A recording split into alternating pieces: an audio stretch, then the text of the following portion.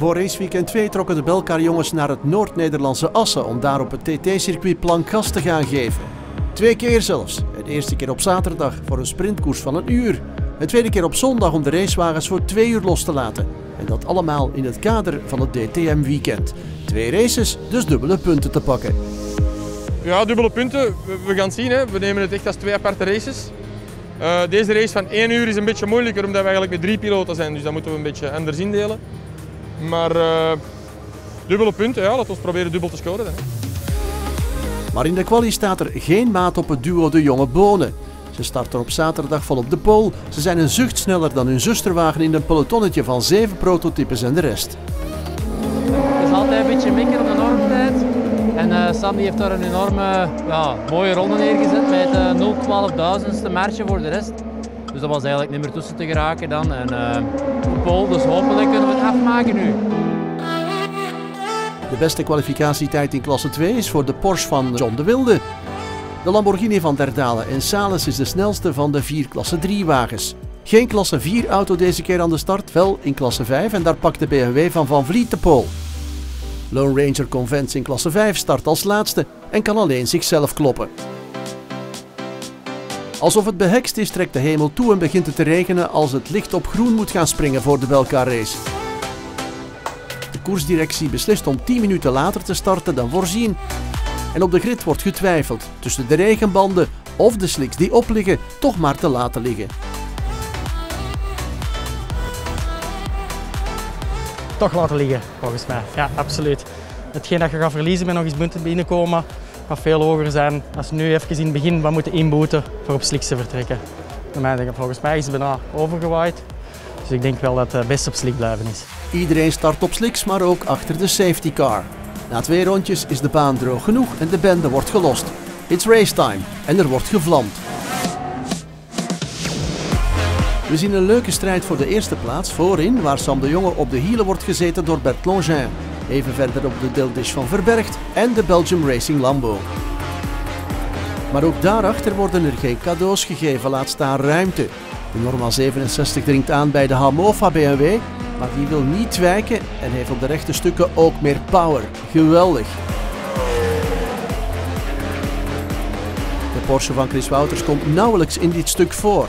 Continu remproblemen en dat is niet handig op een bochtig circuit met lange rechte stukken. Nog drie kwartier race en in de verte wordt het dreigend donkergrijs. En het blijft niet bij dreiging. Als de hemelsluizen opengaan, is het in de pitlane bijna file om regenbanden te komen laten opleggen. Diegenen die niet meteen voor een veilige pitstop hebben kunnen kiezen, bevinden zich op glad ijs, bijna letterlijk. Sam de Jonge crasht spectaculair bij het inrijden van de pitlane. De klap is stevig, de Norma is aan flarden. Hij kruipt als de bliksem uit het wrak, net op tijd, want de BMW van Tom Werks knalt tegen wat er overblijft van de Norma aan. De rode vlag wordt gehesen, de wedstrijd stilgelegd. Ja, het was uh, mayhem. Uh, Sam ging eigenlijk de ronde ervoor binnenkomen, want we zaten nog op slick, zoals heel veel uh, jongens natuurlijk. Uh, hij miste pit entry en dan heeft hij die ronde te veel gedaan. En hij heeft wat water gepakt daar aan de pit entry, aquaplanning. En dan de muur gegaan en dan, ik denk dat als het weekend erop zit, die BMW is nog volop geknald. zonde hè. Ik ging rond en ik zag de norma staan en ik probeer maar aquaplanning en gewoon. En als dat was gewoon schuiven, daar kan, ja. je, daar kan je niks aan, daar kan je niks nee, aan doen. maar toch, ja. Toch balen voor zo'n weekend. Nadat Sam een medische check heeft gekregen, wordt de schade bij Deldish opgemeten. En Sam zelf komt er vanaf met een pijnlijke knie. Ja, ik denk dat dat oppervlakkig is. Ik ben gewoon met mijn knieën tegen het dashboard uh, gestoten of tegen de rand van het chassis. Ja. Die, die safety cell die ons gelukkig in leven houdt, is ook wel heel hard, de carbon. Dus daar ben ik met mijn knieën tegengekomen. Maar buiten wat schaafwonden en wat kneuzingen zal dat wel uh, oké okay zijn. Tot slot, uh, ja, als we de wagen bekijken, dit is tegen morgen niet te fixen. Maar dat weet ik niet. We hebben een heel sterk team. en uh, zoals altijd zijn we ambitieus. Dus we, we gaan nu gewoon even pragmatisch alles bekijken. En, en hopelijk lukt het en dan, dan hebben we op zich een nieuwe kans. Na een oponthoud van een kwartier wordt opnieuw gestart van op de grid achter de safety car. En zelfs rustig is het soms nog te glad. Als het wat kleiner geworden pak weer gelost wordt, is er nog maar een handvol minuten te rijden en het blijft oppassen geblazen. Ja, ja het was, uh, ik denk dat ik 35 minuten in de auto gezeten heb en, zo, en toen kwam, kwam het accident. Dus ja, we hadden in ieder geval overschiet. Ja. Het zullen nog drie rondjes zijn, denk ik, of twee rondjes. En dan is het, uh, dat zal het dan ook zijn, ja. Dus we mikken vooral op morgen nu. Ja, ja, en hopen dat we hier nog een beetje uh, goed uitkomen na heel die situatie. Het zal wel leuk zijn. Voor de Porsches op hun Michelins is dit droomweer en John de Wilde lijkt niet te temmen. Hij gaat een aanval op de Lambo en eet hem als het ware op. De Wilde pakt de derde podiumplaats overall, maar zal na straftijd s'avonds laat naar plaats 5 worden teruggezet. Ja, die moest eraan. die moest eraan. Dus. Maar ik denk dat de Michelin-banden dat we een klein beetje voordeel hebben. Op uh, natte Michelin hebben we zeker voordeel ten opzichte van de Hankoks, denk ik. Het weekend goed ingezet. Hè? Ja, dat is een goed begin. Morgen misschien hetzelfde. We zitten nog steeds in de Belkaar, niet in de DTM. De Van Vliet BMW lijkt even een statement te willen maken. Regelmaat loont in deze barre omstandigheden. En dat tonen Verbergt en Pieces in hun norma. Geen zotte dingen doen, wel constant snel rijden. Een credo dat hen hier de dagzegen oplevert. Ik denk dat we niet het allersnelste duo zijn in, in het uh, algemene, maar het meest constante. En ik denk dat we twee als eerste veel proberen te gebruiken. En onze strategie zat goed. Die zijn een rode vlag, waardoor we even heel de strategie zagen in het water vallen. Maar uiteindelijk mochten we dan terug achter de safety car oplijnen als eerste. En heb ik ervoor gekozen de eerste twee ronden voluit te gaan. Toen was er een gat van 5 seconden en toen ben ik voorzichtiger gaan rijden. Ik moet eerlijk zeggen dat de baan ook meer uh, tricky begon te worden, dat er een beetje een lijn kwam. Maar al bij al, het was een zeer korte restart van 7 minuten en een beetje uh, ja, de eerste twee, drie ronden vol gas en dan uh, een beetje consolideren. Het team Longin moet alweer vrede nemen met een net niet plaats, maar helemaal ontgoocheld zijn ze niet met P2. Ja, het is eigenlijk zo dat uh, in de start, Sam was toch wel snel. Ik moest toch laten we zeggen, een paar tienden per ronde lossen. En, um, maar uiteindelijk was uh, de strategie wel oké, denk ik. Maar dan natuurlijk die regen, uh, dat brengt uh, zoveel stress mee. En je ziet ook hoeveel piloten dat er eigenlijk in de fout gaan. Waaronder ook ikzelf, die toch al jaren race. Dus het is niet zo makkelijk met zo'n prototype om dat allemaal juist te doen. We kijken naar het overall uitslagenbord van race 1 van raceweekend 2. De Deldish Norma op 1, de Longin Norma op 2 en de Belgian Racing Lambo, die ook klasse 3 winnaar is, op 3. De Speedlover Porsche wint klasse 2, de Duitse Kupper BMW is aan het feest in klasse 5 en de Convens BMW moest enkel uitrijden om klasse 6 winnaar te zijn.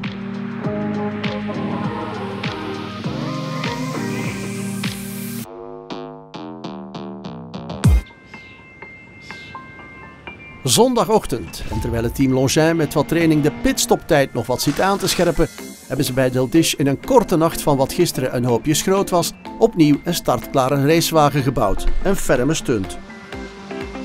Ja, het is eigenlijk ongelooflijk. Als je gisteren die auto ziet, dan denk je dat hij voor de schroothoop is. Dus uh, ook bij mij, na al die jaren dat ik mijn werk, uh, tovert het nog altijd wel een, een glimlach op mijn gezicht, ook al kan je het nu moeilijk zien.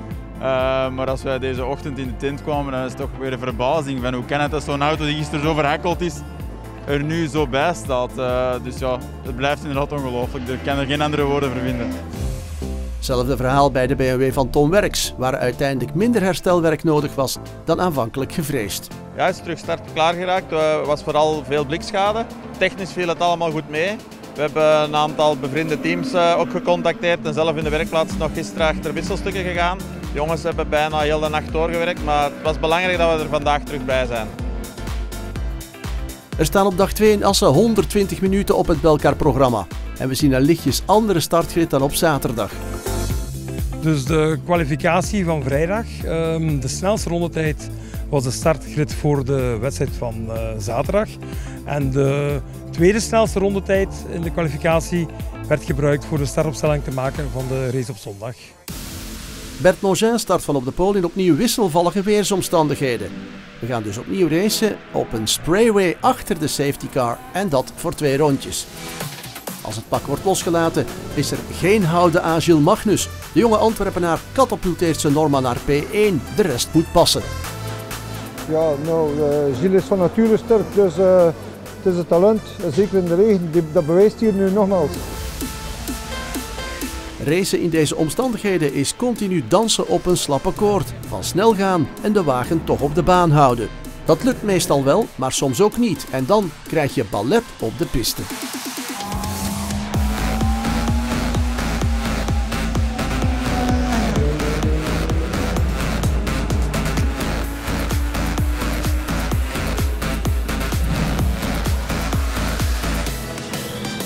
Proto's voeren de toon aan op de hielen gezeten door de derdale Lamborghini en de Porsche van de Wilde. Achteraan is de strijd in klasse 6 één tegen de eenzaamheid in de klasse. Maar niettemin tracht het team er het beste van te maken. Ja, dat is spijtig wel, maar bij de 24 uur zouden we toch meer wagens hebben. Het is een leuke instapklasse en zo, dus en het blijft betaalbaar natuurlijk.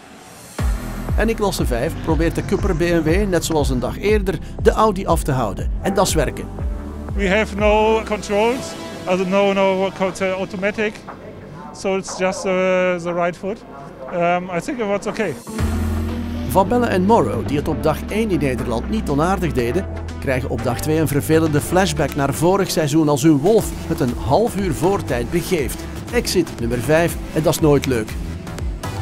Do you know what happened? Uh, uh, we lost engine oil pressure.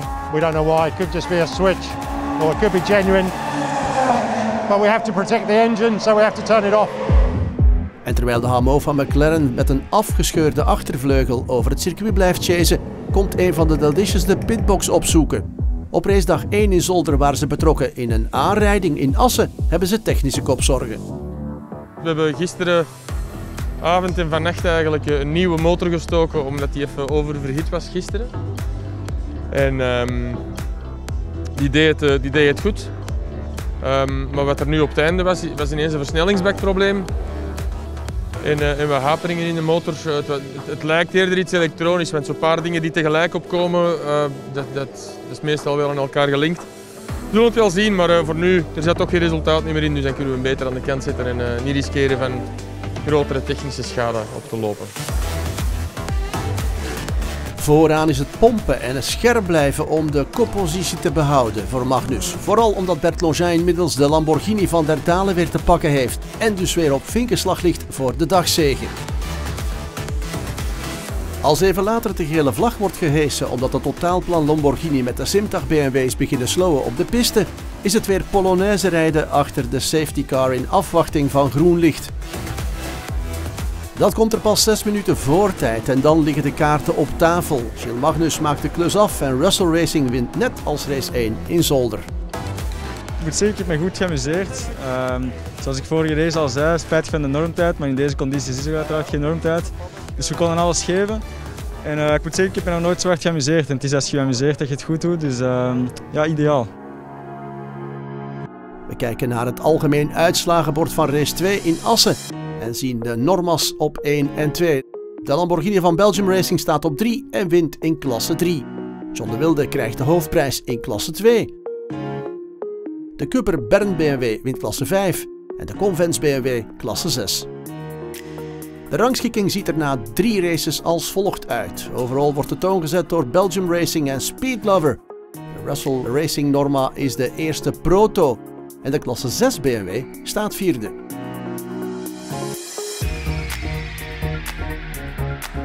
Kleine verschillen bovenaan in Belkar 1, waar Russell Racing op kop staat. In Belkar 2 heeft de Speedlover Porsche al een mooie voorsprong opgebouwd. Zelfde tussenstandbeeld in Belkar 3 met de Belgium Racing Lamborghini die leidt. De Cupper Racing voert de stand aan in klasse 5. En de eenzaad Simtag Racing moet voorlopig alleen met zichzelf rekening houden. Volg de afspraak in het weekend van 2, 3 en 4 oktober op het American Festival NASCAR in Zolder. Tot dan!